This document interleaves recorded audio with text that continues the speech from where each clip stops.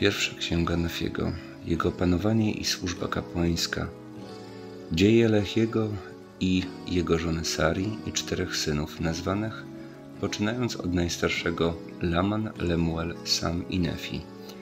Pan ostrza Lechiego, aby opuścił Jerozolimę, gdyż Lechi świadczył Żydom o ich niegodziwości i nastają oni na jego życie.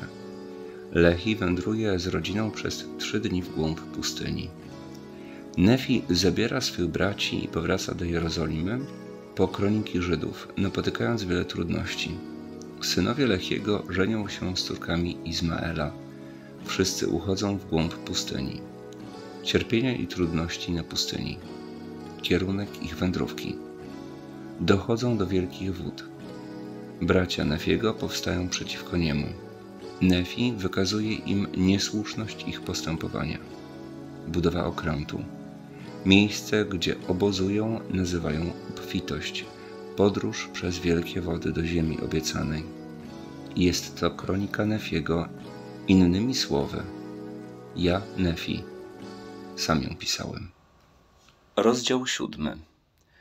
Pragnę, abyście wiedzieli, że gdy mój ojciec Lehi skończył prorokować o swym potomstwie, Pan ponownie do niego przemówił i powiedział mu, że nie jest wskazane, aby Lehi zabrał na pustynię tylko swoją rodzinę, ale że jego synowie powinni się ożenić, aby mogli wychować potomków dla Pana na ziemi obiecanej. I Pan nakazał mu, abym ja, Nefi i moi bracia ponownie powrócili do Jerozolimy i sprowadzili Ismaela wraz z rodziną na pustynię. I ja, Nefi, ponownie udałem się z moimi braćmi przez pustynię do Jerozolimy. I stało się, że gdy przybyliśmy do domu Izmaela i zyskaliśmy jego przychylność, przekazaliśmy mu słowa Pana. I Pan zmiękczył serce Izmaela, a także jego rodziny, że podjęli z nami wędrówkę na pustynię do namiotu naszego ojca. I stało się, że gdy wędrowaliśmy przez pustynię, Laman Lamuel, dwie córki Izmaela, a także dwóch synów Izmaela i ich rodziny powstali przeciwko nam, to jest przeciwko mnie Nefiemu, Samowi i ich ojcu, Izmaelowi, jego żonie i trzem pozostałym córkom. I powstając przeciwko nam, chcieli powrócić do Jerozolimy. I ja, Nefi, bolejąc nad ich zawziętością, powiedziałem do Lamana i Lemuela, jak to się dzieje, że będąc moimi starszymi braćmi, Macie tak twarde serca i jesteście tak zaślepieni, że trzeba, abym ja, wasz młodszy brat, napominał was i dawał wam przykład. Dlaczego nie jesteście posłuszni słowu Pana?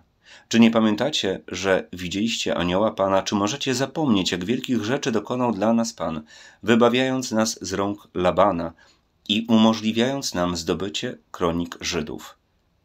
Jak to się stało, że zapomnieliście, że Pan może wszystko uczynić dla ludzi według swej woli, jeśli będą mieli wiarę w Niego. Bądźmy mu więc wierni. I jeśli będziemy mu wierni, dana nam będzie ziemia obiecana, i kiedyś w przyszłości przekonacie się, że spełni się słowo Pana o zagładzie Jerozolimy, albowiem wszystko, co Pan powiedział o zagładzie Jerozolimy, musi się spełnić.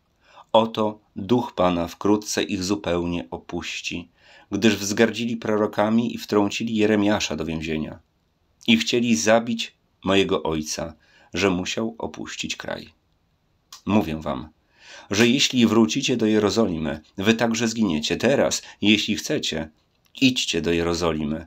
Ale zapamiętajcie moje słowa, że jeśli tam wrócicie, wy także zginiecie, bowiem duch Pana tak nakazuje mi mówić. I gdy ja Nefi powiedziałem te słowa moim braciom, rozgniewali się na mnie i stało się, że w gniewie mnie pojmali, związali sznurami, bo chcieli odebrać mi życie, pozostawiając mnie na pustyni na pożarcie dzikim zwierzętom. I stało się, że modliłem się do Pana, o Panie, według mej wiary w Ciebie wybaw mnie z rąk moich braci, dając mi siłę, abym mógł rozerwać sznury, którymi jestem związany. I gdy wypowiedziałem te słowa, oto rozluźniły się więzy krępujące moje ręce i stopy, że stanąłem przed moimi braćmi i ponownie do nich przemówiłem. I stało się, że ponownie się na mnie rozgniewali i chcieli mnie pojmać, a jedna z córek Izmaela, a także jej matka i jeden z synów Izmaela wstawili się za mną do moich braci, że zmiękczyli ich serca i moi bracia przestali nastawać na moje życie. I stało się, że żałowali swego złego postępowania, a nawet ukorzyli się przede mną i prosili mnie, abym przebaczył im ich postępowanie wobec mnie. I stało się, że szczerze im wszystko przebaczyłem. I namawiałem ich, aby modlili się do Pana Boga o przebaczenie. Tak też uczynili. A gdy skończyli modlić się do Pana, wyruszyliśmy w dalszą wędrówkę do namiotu naszego ojca. I stało się, że przybyliśmy do namiotu naszego ojca, i gdy ja, moi bracia i wszyscy z rodziny Izmaela przybyliśmy do namiotu mojego ojca, mój ojciec i matka dziękowali Panu, swojemu Bogu, i złożyli mu ofiarę i całopalenia.